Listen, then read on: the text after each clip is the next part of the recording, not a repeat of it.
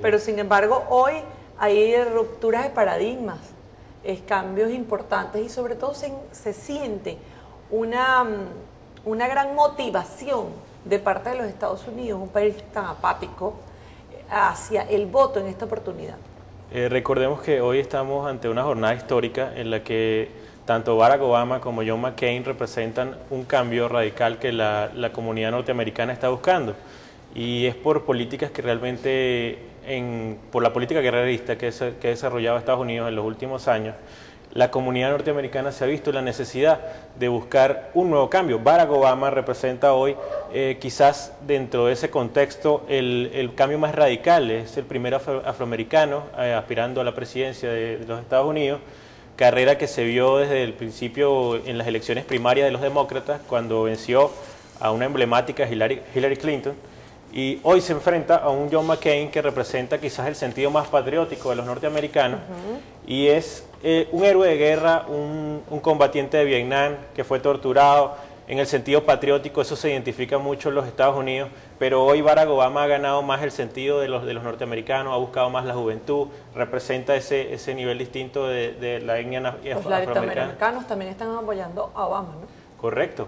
Eh, y ha incidido mucho en la juventud. Fíjate que Obama ha llegado a, a niveles de popularidad en los que no ha bajado en los sondeos. Y hablamos solamente que John McCain se ha ubicado por encima de Obama en una sola semana cuando eligió su vicepresidente, que fue la gobernadora de Alaska, Sarah Palin. Y solamente fue por el impacto que ocasionó la, gobernadora. Sin embargo, a medida que pasó el tiempo... Apaleada. Apaleada, apaleada realmente, porque a medida que pasó el tiempo, la gobernadora Palin se desinfló. Y, y en los ataques que se realizan a Barack Obama sobre su inexperiencia, lo que realiza John McCain, él escoge un vicepresidente como Joe Biden, que representa toda la experiencia, sobre todo en política exterior. Eso contrarrestó y conjunto con la, con la popularidad de Obama y el carisma que tiene él, representa hoy sin duda la, opción más fuerte. Según los sondeos, hoy lo ubican más de siete puntos por encima de, de John McCain y quizás hoy podamos estar viendo a nivel histórico el primer presidente afroamericano. Kennedy fue el primer presidente católico hoy podríamos estar viendo el primer presidente afroamericano y en eso lo han apoyado mucho, su partido ha jugado un, nivel eh, o ha jugado un papel muy importante desde el apoyo de, los Clinton hasta los diferentes eh, líderes que tiene el Partido Demócrata, Al Gore, John Kerry, han apoyado mucho a Barack Obama y, y al contrario McCain lo ha ensombrecido mucho la, presidencia del presidente Bush. Fíjense que en otras campañas hemos visto mucho más el papel activo del presidente de los Estados Unidos en apoyo a su candidato. Hoy vemos a un presidente Bush que quizás se hizo un lado de, la, de la, campaña porque el, el nivel... Es que, le dijeron, no hable, no respire, no salga. Correcto. además, yo siento que el, otro de los aspectos fundamentales de esta campaña ha sido que en la plena recta final de la campaña se sucede el crack financiero en los Estados Unidos. Ese es otro de los incidentes que ha favorecido mucho a Barack Obama y es que John McCain se le acusa de, apoyar en todas las políticas al presidente George Bush. Y la crisis financiera que se desató eh, recientemente se debe mucho a las políticas del presidente Bush. Y aunque, se responsabiliza Bush de Se responsabiliza. De hecho, la administración Bush ha tratado de salvar un poco la crisis financiera, tratando de no, de no perjudicar la campaña de McCain. Sin embargo, la crisis financiera se siente en, en, toda la comunidad norteamericana, incluso en el exterior. Vaya de eso, fíjate que él quiso traer a Obama cuando lo sentó a los dos en aquella mesa con todos los congresistas para acercarlo a esa visión de que todos eran responsables de la crisis financiera y de que todos tenían que salir de la crisis financiera para limpiar un poquito a McCain de esa situación y no lo pudo hacer. Sí, pero oye, mi color. Fue una estrategia. Oye, mi color negro no es tonto.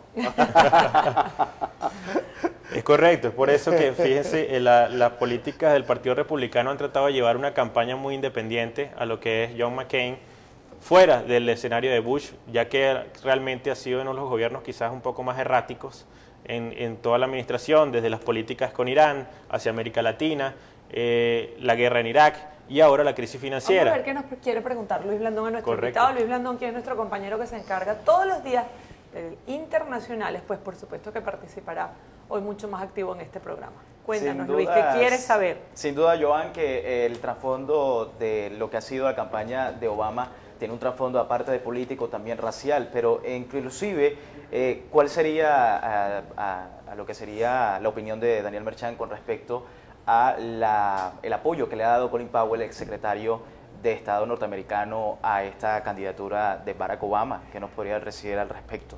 Fíjate, Colin Powell fue una de las figuras más preponderantes del gobierno de Bush.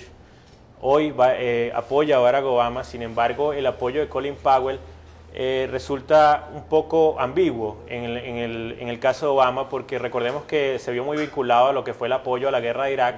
De hecho, él fue quien presentó el plan ante las Naciones Unidas para la invasión en Irak, porque estaban las armas de destrucción masiva en Irak, y quizás no sea el apoyo más idóneo en estos momentos para Obama, aunque sea también afroamericano. Pero eh, lo importante y lo resaltante de Barack Obama es que ha logrado captar toda, toda esa popularidad y toda esa masa, a pesar de, ese, de, esas, de esas sombras que incluso dentro de su propio partido algunas veces se negaron a apoyarlo. Fíjense que hablamos de un candidato que hace dos o tres años era, era anónimo, nadie sabía quién era. No hace esto pensar que Obama es un fenómeno publicitario? Es un fenómeno mediático, lo es. De hecho, eh, parte de la campaña de McCain lo acusa o acusa a la, media norteamericana de tener un romance con Barack Obama, porque cuando él realiza la gira por, eh, por Europa, eh, se le recibe como un jefe de Estado, se le recibe como alguien, como una figura muy, muy importante, incluso por encima del presidente Bush. Por eso McCain se ha visto un poco eh, en la sombra de, de lo que ha sido Barack Obama. Cuando llega McCain, todos lo reciben como un soldadito. y, sin embargo, todavía mantiene eh, los niveles en algunos estados donde republicanos se han dado ya, se han, han volteado, como quien dice, eh, la tortilla hacia ese lado. Correcto, fíjate que hay estados que son bastiones del Partido Republicano y otros que son bastiones del Partido Demócrata, pero en, escenarios donde George Bush triunfó en las elecciones de 2004, el Partido Demócrata ha ido avanzando.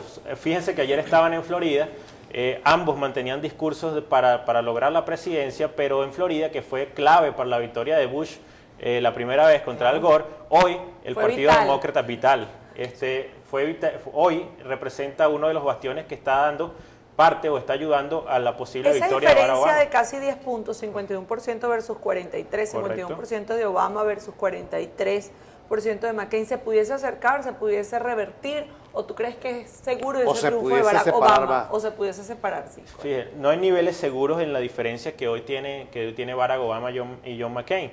Algunos hablan del efecto Bradley, que fue el efecto racial que, se, que vivió uno de los alcaldes de, Los Ángeles o del estado de California, el gobernador de California en el 82, si no me equivoco, y es que las encuestas expresaban la intención de voto a favor del gobernador Bradley, pero a la hora de, realizar la votación, la, votación se, se disminuyó y el, gobernador Bradley terminó perdiendo las elecciones por ese factor racial, por ese factor en que la población no quería admitir que no quería votar por un, por un gobernador negro, por un representante negro.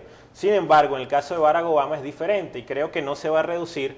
Hoy eh, Barack Obama tiene posiciones muy importantes, ha ganado adeptos en, casi todos los ámbitos a nivel religioso, en la juventud, ha llamado mucho la juventud, ha incluido mucha gente al Partido Demócrata y el apoyo que le ha dado tanto la comunidad eh, norteamericana, el voto latino sobre todo, es vital para Barack Obama y el apoyo de todo su partido va a hacer que hoy posiblemente podamos ver una diferencia entre, entre las dos candidatas. Hay que hacer una aclaratoria, creo yo. Eh, ¿Qué hora es? Todavía no da tiempo, son las 7 y 46. Tenemos que irnos a comerciales para después regresar y, y conversar, porque